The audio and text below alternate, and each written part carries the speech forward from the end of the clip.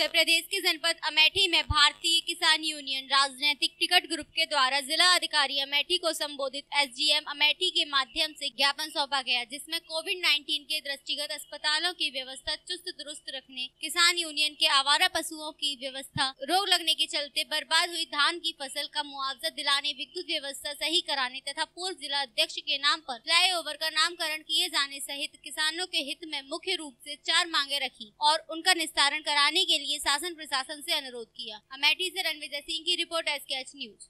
भारतीय किसान यूनियन राजनीतिक टिकट जिला अध्यक्ष चुन्नू सिंह। जी आज आपके द्वारा अमेठी तहसील में उप जिलाधिकारी को ज्ञापन दिया गया। किस तरीके का ज्ञापन है ये?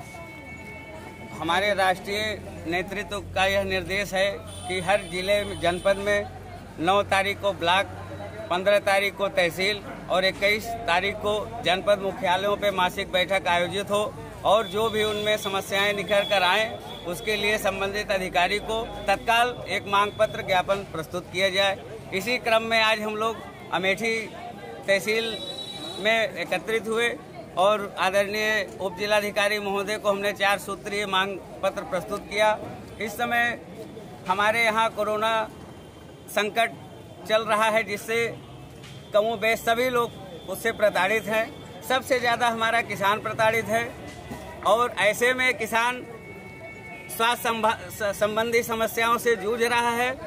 सरकार ने जो है काफ़ी योजनाएँ किसको कृषकों के लिए चलाई है, सुविधाएँ दी है, परंतु यहाँ के अस्पतालों में, जनपद के कई अस्पतालों में सरकारी सुविधाओं का अभाव है।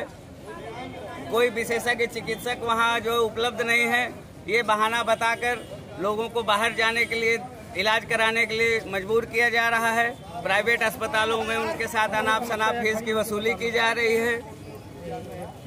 जाँच के नाम पर कमीशन खोरी की व्यवस्था है। अस्पतालों में जाँच नहीं हो पा रहा है। प्राइवेट फर्मों पर जाके जाँच करा रहे हैं लोग। उसकी कमीशन जो है पहुँच रही है अस्पतालों में। इस तरह से किसान हमारे स्वास्थ्य संबंधी समस्याओं से जूझ रहा है।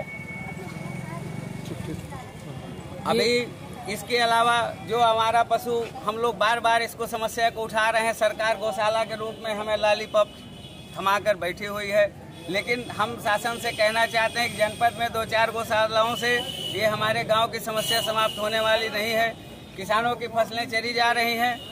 प्रकृति की भी मार हम झेल रहे हैं। बारिश कम होने की वजह से फस, फ़सल नुकसान हो रहा है। आदि समस्याओं को लेकर हम लोग आज मांग पत्र प्रस्तुत किए और एक हमारी मुख्य मांग थी कि यहाँ जो ओवर ककवा रोड पर ओवर ब्रिज का निर्माण हो रहा है उसके लिए हमारे स्वर्गीय प्रमोद मिश्रा जी किसान नेता काफ़ी लंबा संघर्ष किए।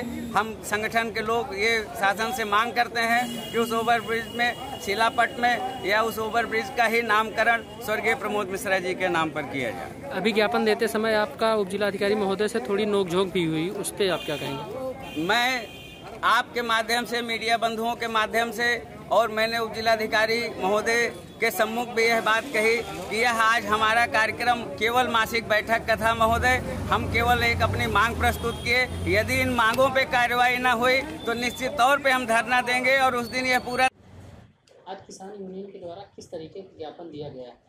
आज भारतीय भारतीय किसान यूनियन वाले आए थे ज्ञापन देने के लिए। उनकी मेन मांग जो तीन मांग उन्होंने रखी है। एक तो जो छुट्टा पशु घूम रहे हैं अधिकतर की तो व्यवस्था की जा रही है, लेकिन फिर भी सड़कों पर दिखाई दे जाते हैं। उनको प्रॉपर जगह गौशाला में भिजवाने की मांग थी। दूसरी मांग, जो विद्युत, संबंधित थी कि बिजली चली जाती है, पोल टूट जाते हैं, उनको समय पे उनको लगवा दिया जाए। एक ये था कि कोरोना चूँकि काफ़ी संख्या में निकल रहे हैं इस इस समय तो सभी अस्पतालों में प्रॉपर व्यवस्था हो सैनिटाइज हो बाकी इलाज प्रॉपर हो। एक डिमांड उनकी, जो कि भारतीय किसान यूनियन से संबंधित हैं ये ककवा रोड पे फ्लाई ओवर बन रहा है, उसमें उन्होंने ये मांग रखी कि जो भारतीय किसान यूनियन के भूतपूर्व अध्यक्ष स्वर्गीय प्रमोद मिश्रा जी हैं, उनके नाम पर उनका नाम, नामकरण हो जाए। आपके द्वारा जो है, उनके ऊपर आप थोड़ा डांट डपट भी कर रहे थे वो क्या मामला था क्या कह रहे थे कि कम से- जब भी आपको ज्ञापन देना हो तो एक प्रॉपर तरीका होता है आने का। आते ही अचानक जो है शोर मचाना और एक प्रॉपर स्थल भी बना रखा है यहाँ पे तहसील में कि ज्ञापन देना है उसकी पूर्व सूचना भी होनी चाहिए।